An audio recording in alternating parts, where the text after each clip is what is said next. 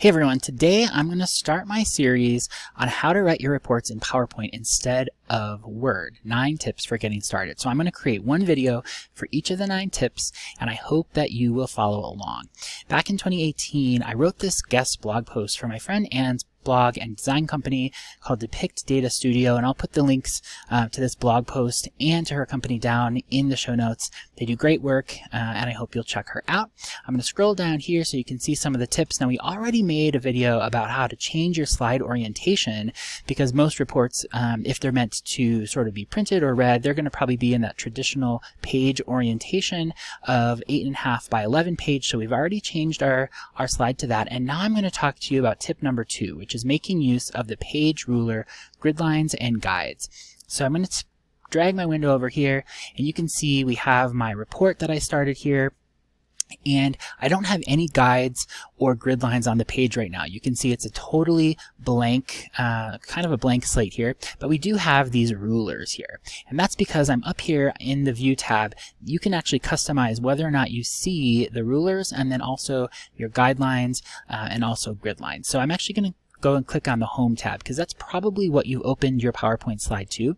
When you want to customize the rulers, the guidelines, or the grid lines, we're going to go to the View tab. So go ahead and click on the View tab in the ribbon. And you'll see right here in this Show section that there is ruler, grid lines, and guides um, that you can select. Now I actually don't have any guides on the page because I have deleted them, um, but it says that I have them. So I'm going to uncheck this box. When I recheck the box, it's going to add back my grid lines. And you can see you'll get a default uh, two or two guidelines here. You'll have one in the middle, uh, uh, horizontally, and you'll have one in the middle of the page um, vertically there. Yeah.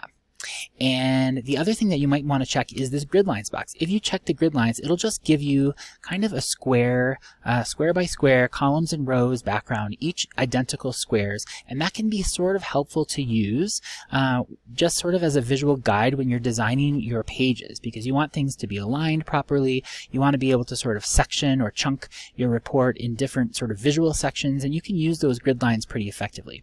But I like to create custom grid lines uh, and custom design grids, usually either like three, uh, three rows and three columns or six rows and six columns. So I'm going to show you how to do that. And first I'm going to get rid of these grid lines again. So I'm going to uncheck that box. Now with the rulers up here, you actually can see like how far apart each of the grid lines might be. And when you want to drag this over, what you're going to do is you're going to hover your mouse over the grid line and go ahead and click and just move it over. So I'm going to put it here um, at this half inch mark. Now if I wanted to create extra grid lines, you can do that. Just hover over the grid line again. I, I usually right click my mouse and you can see here there's all these options. But I'm going to add a vertical, a vertical guide like this and that adds a second one. And then I can actually move that over into another area.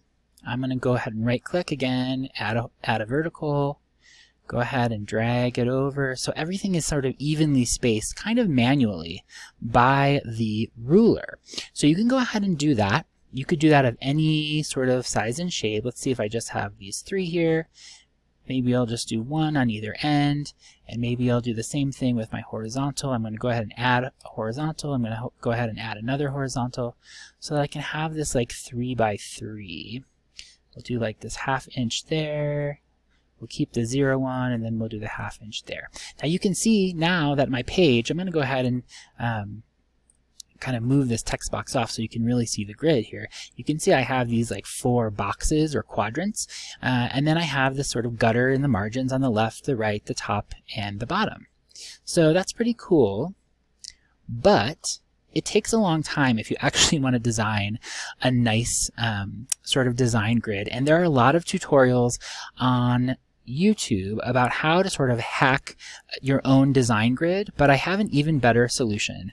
Um, but it involves down, downloading a free PowerPoint add-in and it is called BrightSlide. It is developed by a presentation company called Bright Carbon, and they have given the presentation world um, and you a free PowerPoint add-in that allows you to do some really cool things in PowerPoint in a very easy way. So what I'm going to go ahead and do is actually I'm just going to um, delete these grid lines by clicking on them, dragging them off the page, and you can see they disappear when you drag them off the page. Just click on it and release your mouse, drag it all the way up, and they're already gone. So I'm going to, what you're going to have to do is you're going to go ahead and just Google Brightslide and Bright Carbon. Brightside and Bright Carbon. You will get this first link here, Brightside, and go ahead and download it. Free download for Windows. There's also a download for Mac. Looking for the Mac version, just click on that and you can download it here. Now I've already downloaded it and you can see once you do it successfully, you'll see a Brightslide tab up here in the ribbon. So I'm going to go ahead and select it. Now there are so many time-saving uh, tricks and buttons and features here in Brightslide, but the one that I really love is this one right here under File and Master. You'll see this Guides button this guides drop down. When you drop down, you can say create guides and you can add the guides to your master slide, any of the master layouts, or the normal view. So right now I'm just going to go ahead and click, um, I get got to get rid of that dialog box there. I'm going to go ahead and click the add to normal view and you'll see that this dialog box pops up and you can actually say how large you want the top and top and bottom margins to be, how large you want the left and right margins to be, and then how many columns and how many rows you want to create in your design grid. And you can even switch the units uh, from inches to pixels to centimeters. I'm going to stay in inches here. And right now I have a design grid of six columns and six rows. And you can go ahead and make more. Let's do nine, for instance. Nine columns and nine rows. That looks pretty good. And you can see my margins, my top, and I'm going to actually reduce the size of my top and my left margin. I'm going to increase there and or decrease there and then my bottom margin I'm going to increase to 2 and then my right margin I'm also going to increase to 2. You can just totally customize this to however you want to do it. And you might be able to see the lines are really light, but that's because you can actually customize the color of the lines too. So I'm going to keep my 9 by 9 design grid. I'm going to click OK. And if I wanted the lines to be even darker, you can just go up back to the guide drop-down menu and select change colors. And it asks you which um, layout you want to change the colors for the guidelines in. And right now I'm in normal view, so I'm just going to go ahead and give you something really, really bright uh, to work with here, this, this pink color. And now you can see where that grid is. Now when you're in um, when you would print this to PDF or when you were in slideshow mode, you're not going to see those grid lines. They're just sort of there when you're designing it in design view. So they're there to help you create really beautiful designs with a really clean and sleek uh, design grid. So I hope that you use this trick. Go ahead and download Brightside if you want to do it, or just go back and create um, those design grids manually on your own, but they will save you tons of time in creating sort of the layout for your slides or your pages in your report.